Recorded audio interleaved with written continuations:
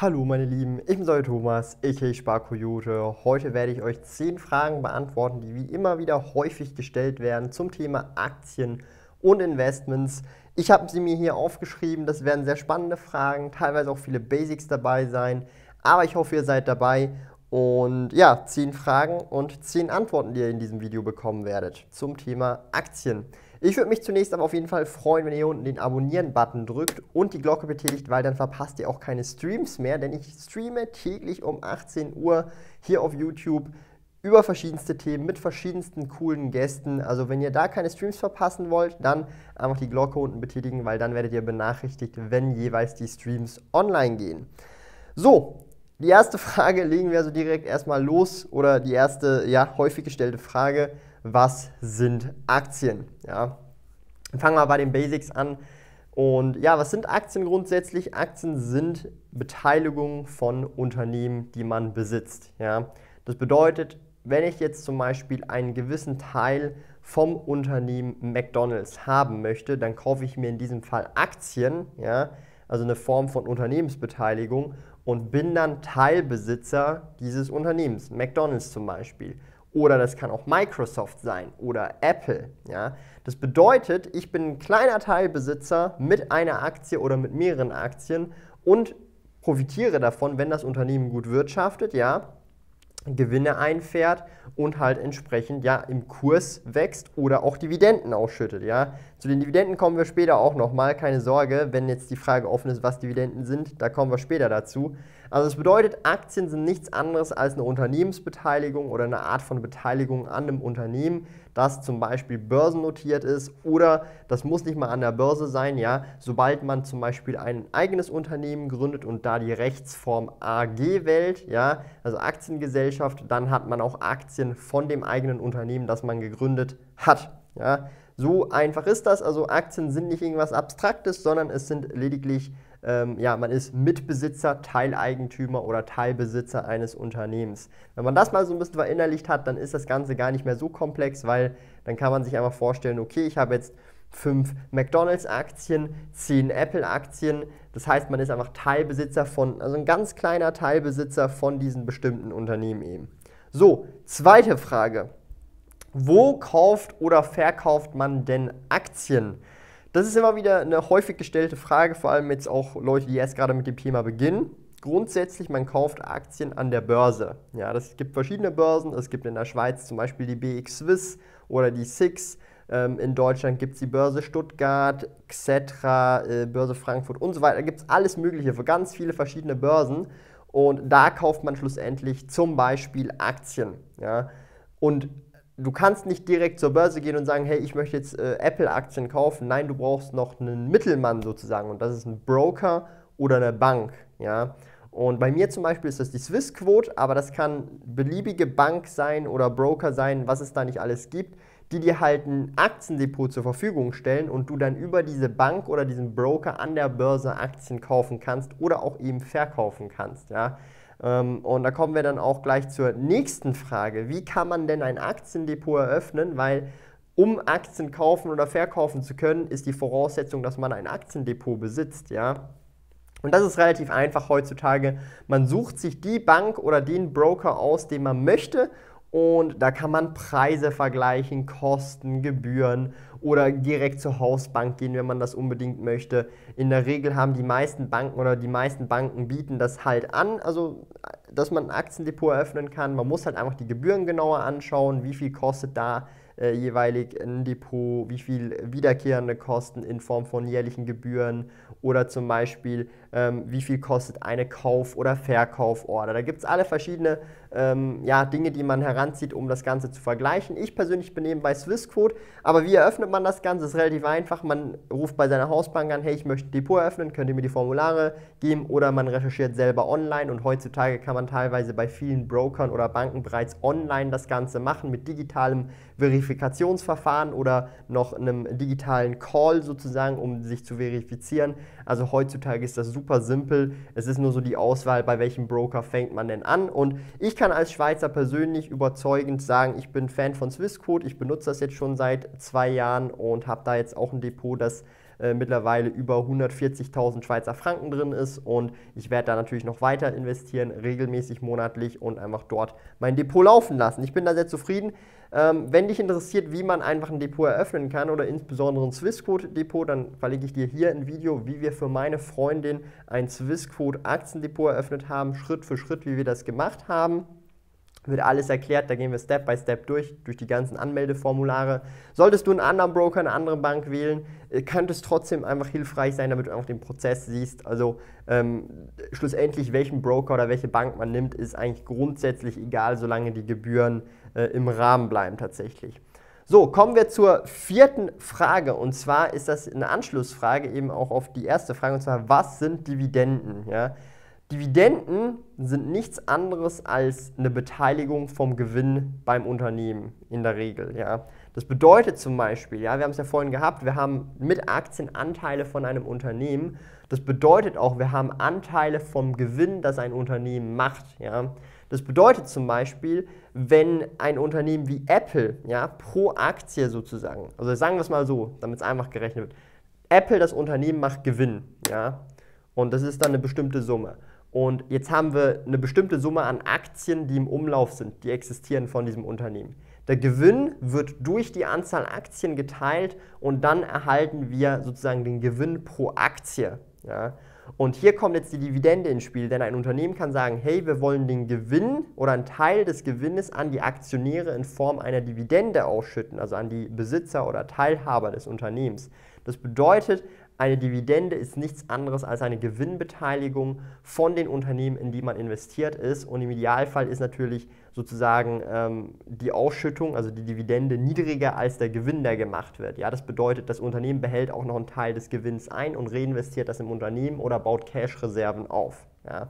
Das ist eine Dividende, sehr einfach erklärt, ähm, kein Hokuspokus, es ist einfach eine Art von Gewinnbeteiligung im Prinzip. Und äh, ja, das erhalten wir Aktionäre Cash auf unser Verrechnungskonto bei unserem Aktiendepot. Mit dem können wir dann theoretisch auch, wenn wir wollen, irgendwie ein iPhone kaufen, wenn es genug Dividenden sind. Aber wir können natürlich auch wieder weitere Aktien mit diesen Dividenden kaufen. Das ist wirklich Bargeld, das aufs Konto dann sozusagen reinfließt. So, jetzt kommen wir zur fünften Frage. Und da ist wirklich, da werde ich so oft gefragt, das ist unglaublich. Und zwar, in welche Aktie soll ich einsteigen oder welche Aktie soll ich kaufen? Und hier muss ich ganz ehrlich sagen, wenn man diese Frage stellt einer anderen Person, dann muss man erkennen, man ist noch nicht so weit sozusagen, also man muss sich da lieber noch ein bisschen Wissen aneignen, dass man selber auf eine Entscheidung kommen kann, weil es ist immer der falsche Weg, jemand anderen zu fragen, was man mit seinem Geld machen sollte, in meinen Augen. Vor allem, wenn es um sowas geht. Ja? Das heißt, ähm, man fängt gerade erst an, ist eine Woche dabei und jetzt fragt man ein paar Leuten im Internet so, hey, welche Aktie sollte ich kaufen? Das ist halt, das macht keinen Sinn. Ähm, man kann natürlich Zweitmeinungen einholen, aber dann ist eher die Frage, was hältst du von so und so? Ich habe mir das Unternehmen genauer angeschaut, ich sehe die und diese Punkte, was ist so deine Sicht auf das Unternehmen? Dann ist es nochmal was anderes, aber Fragt nicht andere Menschen, was ihr mit eurem Geld machen sollt und kopiert auch nicht irgendwelche Depots oder so einfach eins zu eins oder kauft einfach blind nach, was zum Beispiel Star-Investoren wie Warren Buffett machen oder also versteht ihr, was ich meine? Das heißt, macht eure Entscheidungen selber und meistens, wenn ihr diese Frage stellt, jemand anderem, bedeutet das, dass ihr einfach noch mehr äh, ja, Wissen oder äh, mehr Zeit in dieses Thema investieren solltet, um Wissen aufzubauen, damit ihr selber eine Entscheidung treffen könnt. Hey, ich möchte dieses Unternehmen kaufen aufgrund von diesen und diesen, diesen Gründen, wo ich da selber recherchiert habe, mir Zweitmeinungen reingeholt habe und jetzt investiere ich da rein. Ob das dann die richtige Entscheidung gewesen ist oder die falsche, das wird dann die Zeit sozusagen zeigen. Und das ist so ein bisschen meine Antwort darauf. Ich weiß, es ist etwas unbefriedigend, aber ich hoffe, ähm, ihr, ihr, könnt das für euch implementieren, weil es ist ganz wichtig, selber die Verantwortung über das eigene Geld zu haben und auch zu verstehen, was für Entscheidungen man trifft und nicht irgendwie andere Leute zu fragen, was ich mit meinem Geld machen soll. Ja? Also das ist auch so, so eine Kernmessage, die möchte ich hier auf diesem Kanal ähm, ja, verbreiten, dass man selbstverantwortlich Verantwortung über sein eigenes Geld äh, äh, ja, hat und sozusagen auch selber Entscheidungen trifft.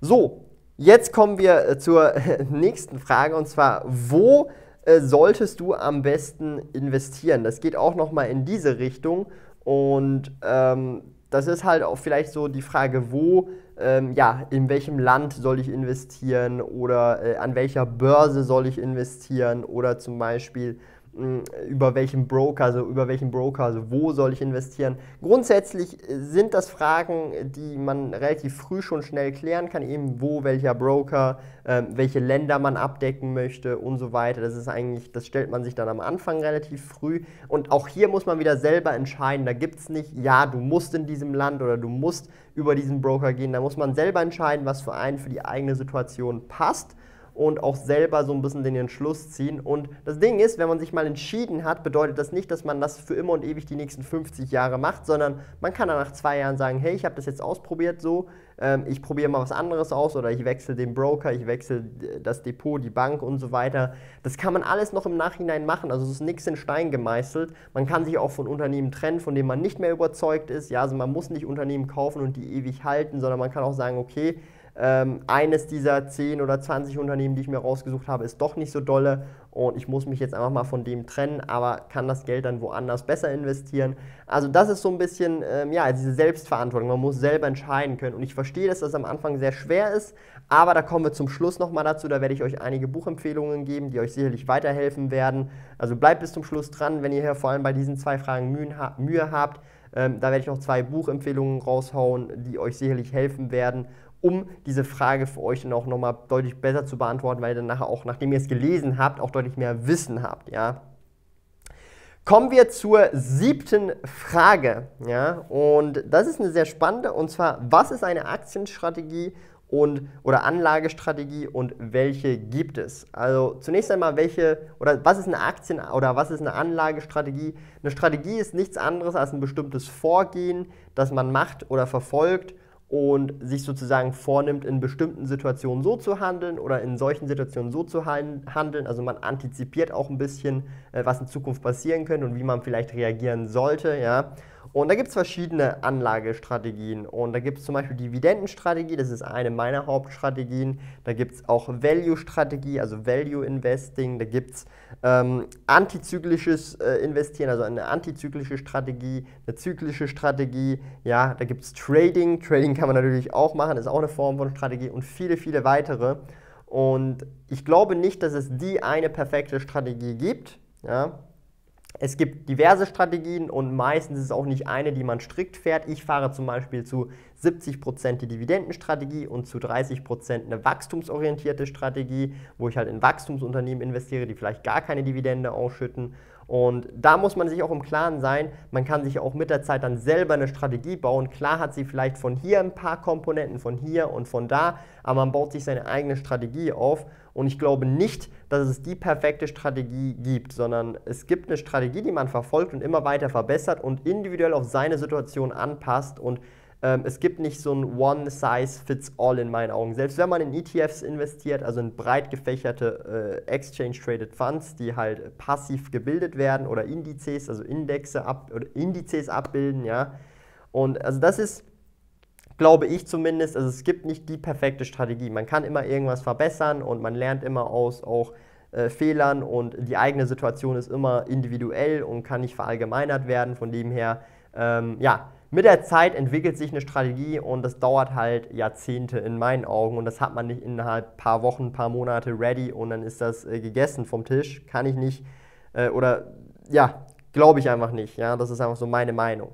So, dann kommen wir zu Frage 8. Ja, und zwar, wie viel Geld brauche ich, um in Aktien investieren zu können? Die einfache Antwort lautet, man kann schon ab einem Franken oder einem Euro starten oder ab noch weniger.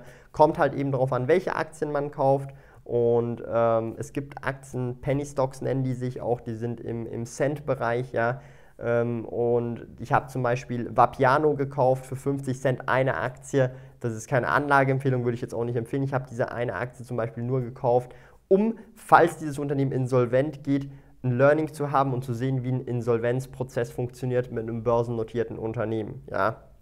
Also das heißt, man kann theoretisch ab schon Kleinstbeträgen investieren. Natürlich schaut man, dass man da natürlich schon auch Summen investiert, wo es Sinn macht tatsächlich, vor allem gebührentechnisch. Also ich sage immer zum Beispiel, dass die Gebühren von Kaufen und Verkaufen maximal 1,5% von der Ordergröße sein dürfen. Das bedeutet, wenn ich jetzt 500 Euro investiere, dürfen die Gebühren maximal 7 Franken 50 oder 7,50 Euro kosten für die Order oder wenn man 1000 Euro investiert, darf es maximal 15 Euro kosten und so weiter. Also hier muss man immer so ein bisschen überlegen, also ob jetzt Euro oder Franken ist egal, ist ja ein prozentualer Wert. Auf jeden Fall kann man schon ab sehr früh investieren. Ich habe direkt mit 18 angefangen zu investieren, auch während der Ausbildung noch, habe auch mein Ausbildungsgehalt mit der Zeit dann immer investiert, konnte halt nicht jeden Monat damals investieren, sondern habe dann so quartalsweise mal investiert oder alle zwei Monate. Also keine Sorge, man kann auch mit kleineren Beträgen beginnen zu investieren. Man muss nicht irgendwie schon Millionär sein, um Aktieninvestments zu tätigen. Das ist leider ein Trugschluss, den viele haben und den wollte ich hier eigentlich direkt aufklären. Kommen wir zur Frage 9 und das ist eine sehr spannende Frage und zwar, wo finde ich Informationen zu den Unternehmen oder den jeweiligen Aktien? Das ist natürlich sehr wichtig. Ich möchte mich ja über ein Unternehmen informieren und wo kriege ich diese ganzen Informationen? Ähm, ich habe zunächst einmal ja, ein Video dazu, wo ich eigentlich alles genau erkläre. Das verlinke ich hier oben gerne, wo ich so meine Tools zeige, meine Finanztools und auch wo ich mich informiere, wenn ich Unternehmen genauer anschaue oder eben Aktien anschaue. Einfach Kurzfassung, ich benutze zum Beispiel einen Aktienscreener, der nennt sich Aktienfinder. Ähm, für Zweitmeinungen benutze ich gerne alle Aktien, also Analysen von alle Aktien. Ähm, drittens, äh, Finanzen.net zum Beispiel benutze ich sehr gerne, das habt ihr vielleicht auch schon mal gefunden. Da kann man dann immer schön auch Kennzahlen von den Unternehmen anschauen oder verschiedenste Werte, Dividendentage und so weiter. Äh, man kann auch Artikel einfach über Google finden, also vor allem wenn es um aktuelle News geht, ja. Dann die Investor Relation Seite von den jeweiligen Unternehmen, weil jedes börsennotierte Unternehmen hat eine Investor Relation Seite. Einfach das Unternehmen auf Google eingeben, zum Beispiel Starbucks und dann dahinter Investor Relation, ein englisches Wort. Und dann findet ihr eigentlich im Prinzip immer die offizielle Unternehmensseite und da gibt es dann zum Beispiel auch die Geschäftsberichte, die offiziellen, die Jahresberichte, die Quartalsberichte von diesen Unternehmen. Da kann man natürlich auch durchgehen, das ist dann die Informationen von den Quellen direkt ziehen. Natürlich ist es relativ dick, ja, so ein dicker Schinken jeweils der Jahresbericht oder der Quartalsbericht, aber da kommt man natürlich auch an die Informationen ran. Und natürlich YouTube-Videos kann man sich reinziehen, Blogbeiträge kann man sich lesen, alles Mögliche. Ähm, aber wie schon gesagt, wenn ihr genauer wissen wollt, einfach das Video abchecken, das ich da verlinke. Kommen wir zur letzten und zehnten Frage. Ja. Kann man mit Aktien reich werden? Ja, kann man. Ähm, es dauert halt einfach Dekaden. Ja, also macht euch nicht der, die Illusion, dass ihr jetzt zum Beispiel anfängt mit dem Investieren und innerhalb von fünf bis zehn Jahren richtig reich und vermögend werdet. Ja. Ihr werdet aber über 10, 20, 30, 40 Jahre mit Aktieninvestment und regelmäßiges Investieren schon durchaus reich und vermögend, vor allem wenn ihr auch viel sparen könnt. Habt ihr allerdings vor, in den nächsten fünf bis zehn Jahren wirklich krass Vermögen aufzubauen und reich zu werden, dann ist Aktien natürlich ein nettes Vehikel, um einfach Vermögen äh, ja, zu investieren, aber man wird dadurch, also man wird in so einem kurzen Zeitraum von fünf bis zehn Jahren tatsächlich nur vermögend und reich, wenn man wirklich viel verdient und viel davon sparen kann, ob das jetzt im Angestellten-Dasein ist oder als Selbstständiger oder als Unternehmer, das ist völlig egal. Aber gebt euch nicht der Illusion, dass ihr nur weil ihr in Aktien investiert, relativ schnell reich werdet. Nein, das ist nicht der Fall. Das ist eine langfristige Angelegenheit. Für mich sind Aktien auch ein sehr langatmiges Investment. Also da investiere ich nur Geld, das ich für die nächsten 40 bis 50 Jahre nicht brauche und eigentlich hier einen Teil meines Vermögens immer wegstashe und monatlich regelmäßig investiere. Ja? Und dadurch natürlich auch immer mehr passiven Cashflow durch Dividenden und Co. erhalte und natürlich im Idealfall auch Kursgewinne dann im, äh, im Portfolio habe. Ja? Aber grundsätzlich ja, man kann dadurch reich werden, aber es ist eine sehr langwierige Sache. Und wenn ihr wirklich in Anführungsstrichen schnell reich werden wollt, dann ist Aktien definitiv nicht der richtige Weg. Ja? Und ähm, das will ich hier einfach nochmal transparent sagen, dass ihr euch nicht der Illusion gebt, ja, mit Aktien werde ich super schnell reich oder so. Ja? So, jetzt sind wir zum Schluss angekommen und ich habe es natürlich nicht vergessen, ich habe noch zwei Buchempfehlungen für euch und die können euch natürlich sehr weiterhelfen in meinen Augen und haben mir persönlich auch weitergeholfen, als ich diese Bücher gelesen habe. Ich konnte da viel Wissen draus rausziehen. Es sind sehr einfache, verständliche Bücher, vor allem auch für Anfänger gedacht. Also die Schreibweise ist simpel zum Lesen, auch also man versteht grundsätzlich, wenn man diese zwei Bücher gelesen hat, schon sehr viel über die ganze Finanzwelt, sowohl Einzelaktien als auch ETFs. Ja. Darum, ich kann diese zwei Bücher nur wärmstens empfehlen. Das erste ist cool bleiben und Dividenden kassieren. Das ist ein super cooles Buch, vor allem auch jetzt die Dividenden, die, die Leute, die die Dividendenstrategie interessant finden. Und das zweite Buch ist Souverän investieren von Gerd Kommer ein klassisches ETF-Buch, das kennen sicherlich vielleicht auch einige, die vielleicht jetzt noch schon ein bisschen länger dabei sind beim Thema Investieren in Aktien oder an der Börse. Aber das sind so die zwei Bücher, die kann ich euch wärmstens ans Herz legen, ähm, die ihr auf jeden Fall lesen solltet, vor allem auch am Anfang, weil da bekommt ihr wirklich sehr viel Input und da lernt ihr auch sehr viel. Da könnt ihr relativ schnell euer Wissen kickstarten, nenne ich das auch gerne, und wirklich viel Erfahrung dann auch äh, ansammeln, wenn ihr das äh, Wissen aus den Büchern dann auch entsprechend umsetzt. So, ich hoffe, dieses Video hat euch gefallen. Lasst doch gerne einen Daumen nach oben da. Mich würde so interessieren, ob euch mehr solcher anfängerfreundlichen Videos interessieren. Ich weiß, ich habe viele Leute, die auch schon seit Jahren dabei sind an der Börse oder seit Jahrzehnten dabei sind, aber auch viele junge, neue Leute, ja, die sogar auch jünger als ich anfangen, schon als 17-Jährige anfangen. Darum ähm, mache ich auch gerne solche Videos, um halt auch dieses Wissen so vermitteln zu können. Schreibt mir gerne in die Kommentare, was ihr von solchen äh, Videos haltet oder, oder ob ihr mehr solcher Fragenvideos videos äh, sehen wollt mit häufig gestellten Fragen zum Thema Aktien oder anderen Themen, würde ich mich super äh, freuen, wenn ihr da Feedback geben könntet. Ich bin da wirklich sehr offen für Feedback. Und ansonsten, wenn ihr wirklich Anlaufstelle braucht und Hilfe braucht oder persönliche, ich sage jetzt mal, Inputs braucht von anderen Menschen, die vielleicht auch schon das erlebt haben, was ihr gerade durchlebt, sprich auch mal irgendwann anfangen mussten, ja, dann gerne den Finanzrudel Community Club abchecken, einfach finanzrudel.ch club. Link ist auch unten in der Videobeschreibung. Da sind wir mittlerweile über 1500 Mitglieder und mehr als die Hälfte davon ist aus der Schweiz. Ja? Und da diskutieren wir über persönliche Finanzen, Aktien, Business, Minimalismus und vieles mehr. Da sind wirklich viele coole Leute am Start und da tauschen wir einfach unsere Erfahrungen aus, was wir erlebt haben, was wir für Fehler gemacht haben und so weiter. Also ich würde mich freuen, wenn du da joinen würdest und mit deinen Erfahrungen hier auch Mehrwert bieten würdest, weil ich lerne natürlich auch gerne von dir. Und ansonsten sehen wir uns im nächsten Video. Bis dahin, tschö Leute.